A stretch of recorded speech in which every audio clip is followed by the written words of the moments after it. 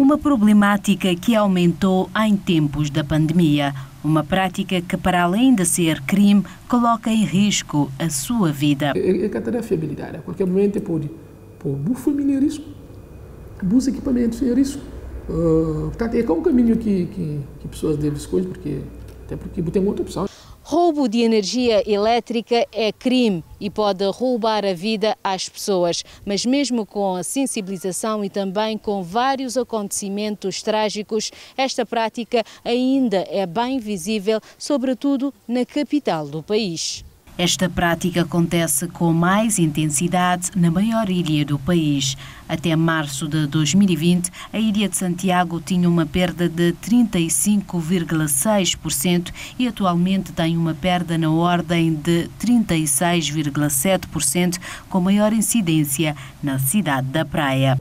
Na nossos balanços trimestrais que não está e de acordo com, com, com, com o balanço energético que não está faz, não, não tive sinal claro que na 2020 não teve aumento de perda, principalmente na ilha de Santiago, a volta de 1,3%, né? não tive aumento de, de perda e nós no, Cabo também. Mas maxifica nós, nós ação no último trimestre do ano, entre outubro, novembro, dezembro, no Cabo maxifica nós ação com vista à redução de aquele, de percentagem que não verifica manteve aumento normalmente entre mês de maio até mês de setembro. Na localidade de Alto da Glória, aqui na cidade da Praia, as pessoas que cometem este delito dizem não terem outra alternativa. Ali nunca tem luz, é luz furtado, é fio ribachão, é frio, crianças, é situação péssima. Aquela situação ali é nada bom, tem muito risco mesmo, ter muito fio que está ficando arriba de chão, ali tem um monte de menino, mas ponto, é, nós é coitado, ele está que se fazer não, não jeito para pôr um coitado luz. O elétrico seria aberto para, para, para, para dar energia de forma segura e, e sustentável. Nessa época da pandemia, esta prática aumentou não só nas zonas periféricas, mas também nos pontos centrais da cidade. Um aumento que piora a situação de energia no país, que já convive com os impactos econômicos do custo de energia elétrica, porque, para além de acarretar riscos de acidentes graves para a população, também prejudica o consumidor final, pois este desvio pode refletir nas tarifas de energia.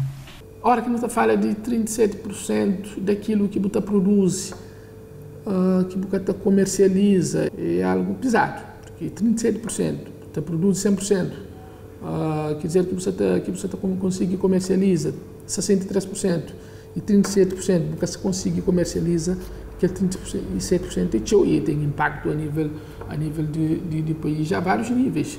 Um, ah, só falar, uma, uma, uma roubo em si, tem várias consequências, né?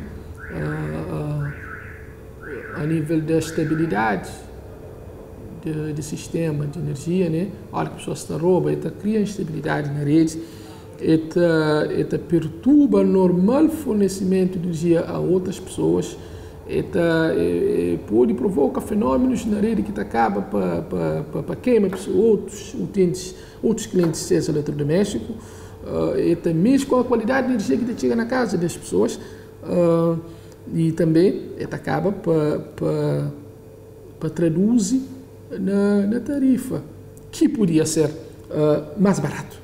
Em caso de acidente por conta desta prática, a Proteção Civil deixa algumas orientações para salvamento de vítimas de choques elétricos que podem evitar que a descarga seja fatal ou deixe sequelas.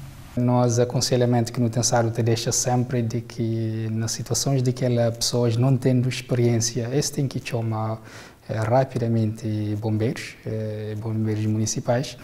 É, se porventura pessoas tiver que eventualmente se está em causa e morte imediata que pessoas têm condições de de atuar e conseguir fazer aquele salvamento em segurança desde que eh, que tenha materiais apropriados, nomeadamente luvas próprias para, para aquela, que te permite que te permite uma intervenção rápida para mitigar uh, aquele risco aí, desde que haja salvaguardado aqui as condições de segurança ali, que pessoas podem intervir, mas não conseguindo, não tendo conhecimento, não está no apela sempre para uma autoridade, nomeadamente serviços municipais de proteção civil, que eh, mais concretamente bombeiros, que é uma força que está talhado para para esse tipo de resposta. De acordo com o balanço energético da distribuidora de energia elétrica do país, verificou-se em 2020 que em algumas ilhas, nomeadamente Maio e Santo Antão,